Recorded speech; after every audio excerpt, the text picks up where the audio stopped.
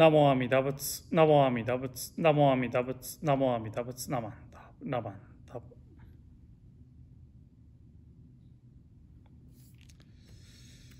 皆さんおはようございます。シアトル別院日本語講座、えーようこそお参りくださいました。2021年9月5日、シアトル別院日本語講座です。えまずはじめにですね、いつものように音読さんを皆さんと歌って、それから来三門、三景門を皆さんと拝読して、ご法話に入らせていただきたいと思います。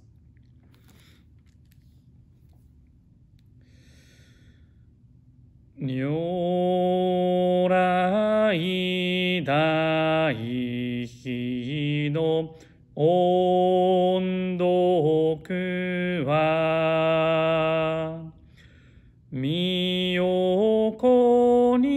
にしても、ほずべし。死臭知識の音読も骨を砕きてもしゃすべし。ナモアミダ仏、ナモアミダ仏、ナマンダ、ナマンダ、ナマンダ。はい、ありがとうございます。では、三期右門、来三門を拝読させていただきます。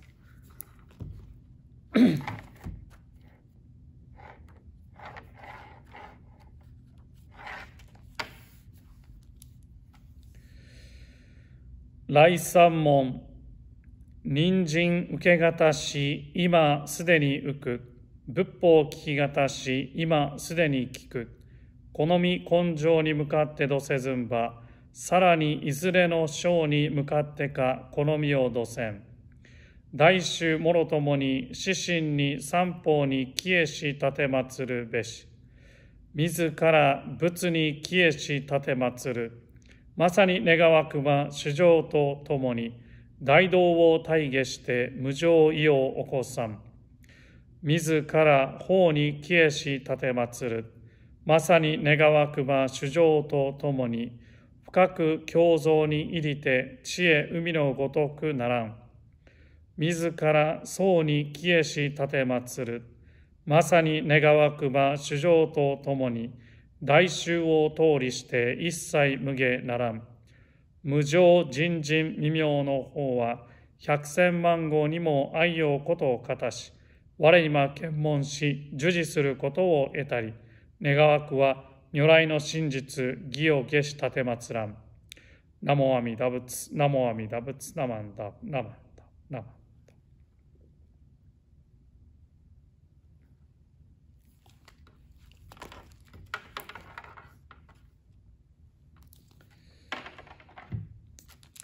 改めましておはようございます。えー今日はですね、9月5日の日曜日ですけれども、皆様いかがお過ごしでしょうか。まあ、明日はレイバーデーでお休みということでですね、まあ、その後からまあ学校が始まったりするところもあるんではないかなというふうに思いますけれども、皆さんこの夏、どのように過ごされたでしょうか。まあ、個人的なことで申し訳ないんですけれども、まあ、8月は私少しお休みもいただいてですね少しゆっくりさせていただきました、いろいろ楽しいことをですねすることができたなまあいろんな遠くに旅行することはできなかったんですけれどもまあそれなりにですねいろんなところに行って今まで行けなかったところに行けたり楽しくこの夏を過ごさせてもらいました。まあ、例えばあのテントを張って屋外でですねキャンプをしたりとかあのちょっと車でオリンピック半島の方を巡ってみたりとかですね。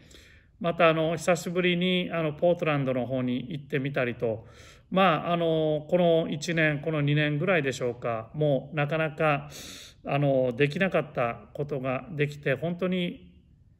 まあ普通のもしかしたらこういうパンデミックでなければ日本に帰ったりですねもっと飛行機に乗って違うところに行ったりということになってたかもしれませんけれどもまあこのパンデミックの中でじゃあどうやって楽しもうかということでできることをですね考えてしてみたところまあいろいろと本当に楽しくこの夏を過ごすことができたなこの夏はこの夏でいい思い出をですね作ることができて本当に良かったなというふうに思っております。まあもう早いもので9月になりましたのでなんとなくもう秋が近づいてきたのかなという感じもしますけれどもまあ皆さんどのように夏を過ごされたでしょうか。まああのこのこれからまだ秋もですねいろいろ楽しく過ごしていくことができればな、まあ、健康に気をつけながらですね健康安全に気をつけながら楽しく過ごすことができればなと思います。まあ、今日はですねあの9月の最初の日曜日なんですけれども私たちの米国仏教団ブディス・チャーチーズ・オブ・アメリカですね米国仏教団ではあの毎年9月の1日9月の1日を BCA ファウンディングデイ、まあ、BCA 米国仏教団創立記念日というふうに定めております。そういうこともありまして、この第一日曜日をですね、あのシアトル別院でも米国仏教団創立記念日の法要、お参りに設定してお参りをさせていただくようにしております。まあ、1899年に布教伝道が始まってですね、まあ、それからこう計算してみると122年122年が経ちました。この122年の間にですね、たくさんの先生方、先輩方、それからご門徒の皆さんが、このアメリカの地で創意工夫を重ね、お念仏の見教えをつないで広めてきてくださいました。そして今、私たちが、まあ、あの、ここでですね、浄土真宗の見教えを聞かせていただくことができているわけです。昨年だったでしょうかねあの世界にアメリカだけで日本とかアメリカだけではなくてですね世界中に浄土真宗の見教えを広めようというその拠点として JSIO 浄土真宗インターナショナルオフィス JSIO 浄土真宗インターナショナルオフィスが正式に発足しました。事務所はカリフォルニア州のバークレーにあるんですけれどもそので、まあ、皆様もねご存知の方も多いかと思いますけれども桑原先生がそこの、まあ、事務局長という形でですねいろんなプログラムをあの始めてくださっております。まあプログラムであったりプロジェクトがですねいろんないろいろ進んでるんですけれども、まあ、私もいくつか、まあ、そのうちのまあ一つに参加させていただいてるんですけれどもまあいろいろインターナショナルオフィスでしているプロジェクトの一つにですね、まあ、出版のこともあるんですけれどもその出版で一つ出版されたのがですねこの本なんですね。The Three Pure and Sutra The Three Pure and Sutra という本です。中を見るとこうこういう感じですね。フリーピアランス・スートラ、えー、浄土三部教のローマ字の本です。ローマ字の本の出版に私も関わらさせていただきました。これはもともとはですね、ここの毎週水曜日の朝にですね、10時からお参りをしているんですけど、今もあのオンラインでしているんですけれども、パンデミックが始まる前は in person で水曜日の朝お参りしてたんですけれども、浄土真宗ちょうど浄土三部経のですね繰り読みをしてたんですね。でそれでまあなんとかこの素人ながらにアルファベットで打ったものをですねなんとかみんなで作って他の先生方にも協力して作っていただいてそれを少しずつきれいにしていったものをですねシアトル別院のメンバーの方にもたくさん協力していただきましたその方々のご協力もあってですねあのこういうふうにきれいに出版されることができました浄土真宗ではお釈迦様が説かれた3つのお経典を書への経典としています。その3つというのがですね、仏説無料儒教、仏説漢無料儒教、そして仏説阿弥陀経ですね。この3つを合わせて浄土三部経というふうに言います。あの本堂のこの正面のこの来板っていうんですけれどもその机の上に乗ってる4つの巻物がありますけれどもあれが浄土三部経の巻物ですねそれからこういう箱が置いてあるのをもしかしたら見られたことがあるかもしれません内陣の中に置いてあるのを見られたことあるかもしれませんけれどもこの中にはですね浄土三部経が収めてあります。こういう本ですね。浄土三部経。一番こちらから、えー、仏説無料儒教この2つが仏説無料儒教の上巻下巻。それから仏説漢無料儒教がこれですね。そして仏説阿弥陀経。中はもちろん漢字でですねあの書かれてあります。漢字だけです。こういうふうに書かれてあります。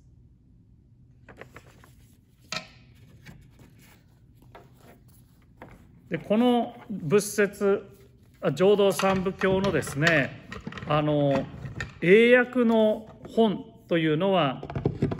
もう出版はされているんですけれども残念ながらこれまでですねローマ字で書かれた読経用の本というのがなかったんですね。まあ日本語だったらですねこの漢字だけのものとこういうもう少し小さいサイズで裏表両面印刷のですねひらがなも横に書かれたもの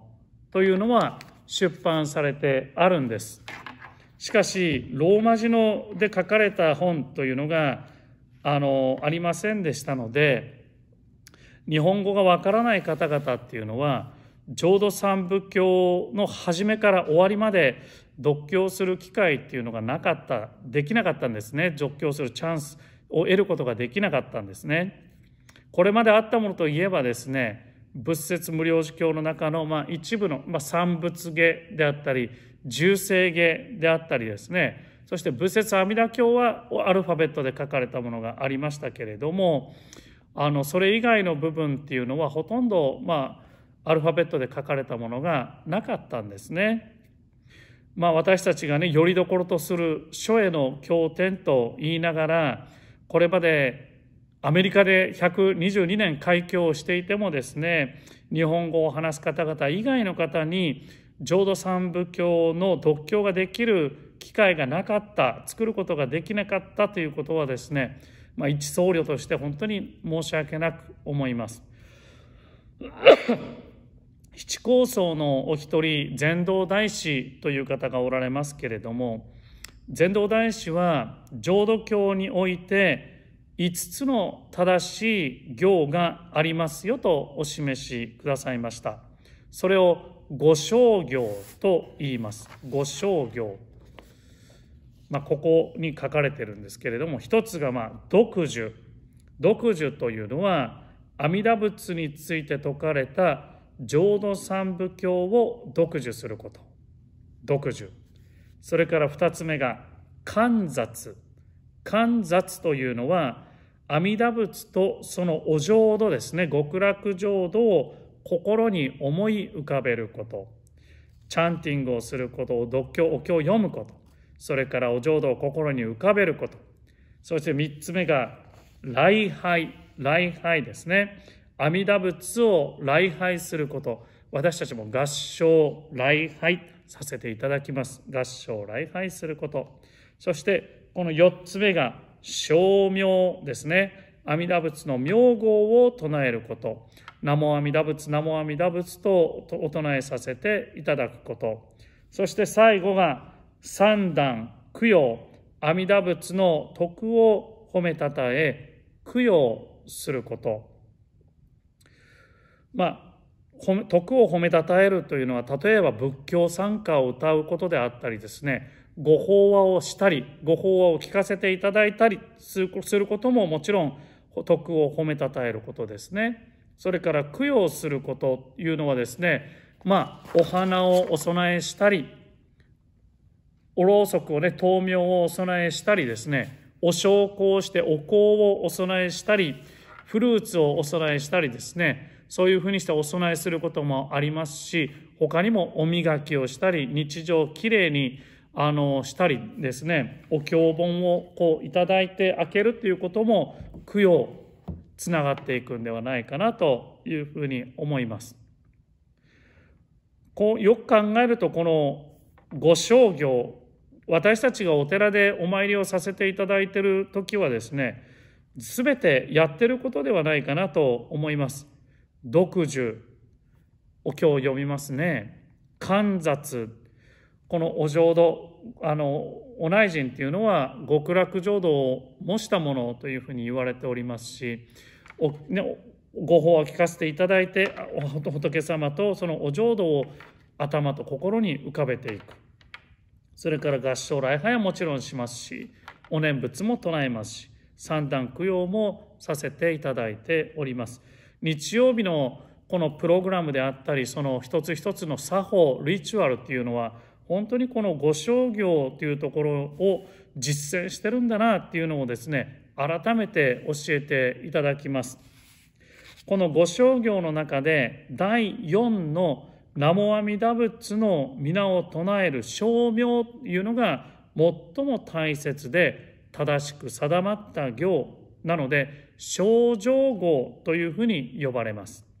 それ以外の4つの行号はですね称名を続けていく中で自然と突き従ってくる随伴してくる行ということで助語助ける号で助語というふうに言います。私たち浄土真宗の門徒ですね。阿弥陀仏のお浄土への道お念仏の道を歩まさせていただいているものは浄土三部経を読受しお念唱えさせていただいてですね。これ読経ですね。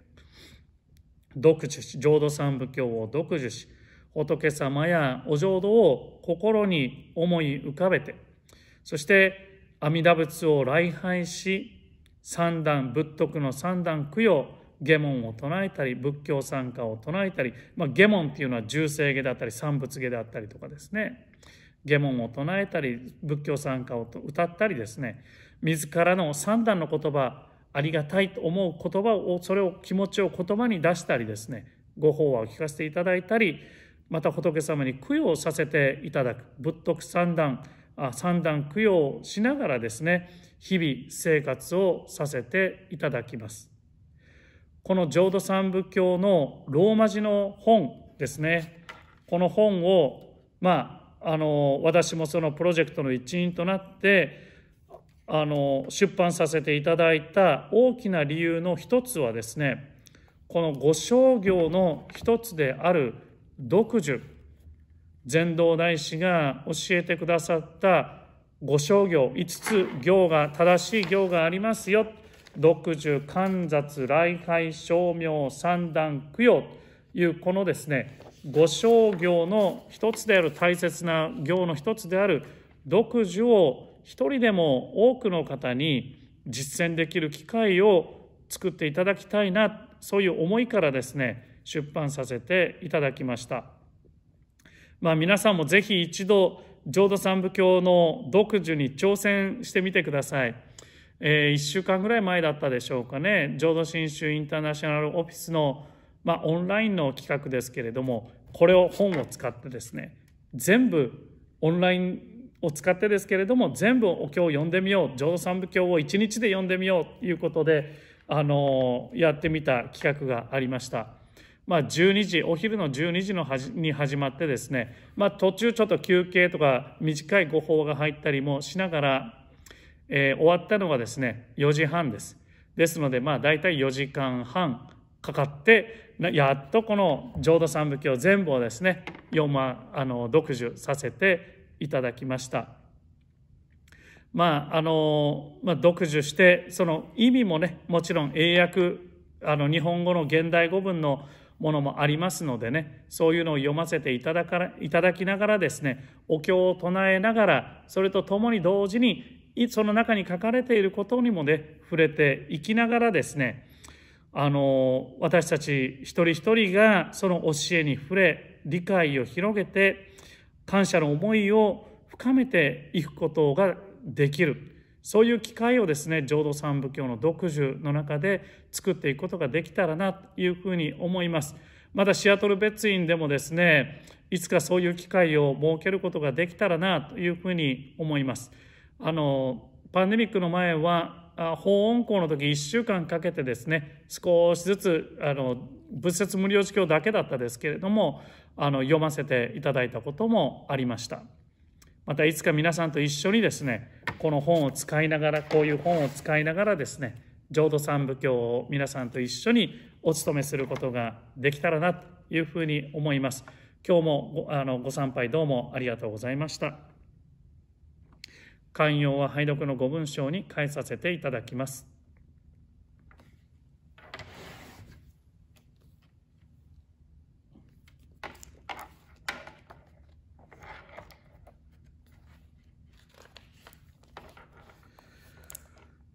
商人一流のご関係の趣は新人のもって本とせられ候。そのゆえは、もろもろの造業を投げ捨てて、一心に乱に奇妙をすれば、不可思議の眼力通して、仏の方より往生は事情をせしめたも。そのくらいを一年ぽき入賞上始終とも釈し、その上の称名念ブッダ、如来我が往生を定め、玉いし、ご恩法人の念仏と心べきなり、あなかしこ、あなかしこ、ナモアミダ仏、ナモアミダ仏、ナモアミダ仏、ナモアミダ仏、ナマンダ、ナマンダ、ナマンダ。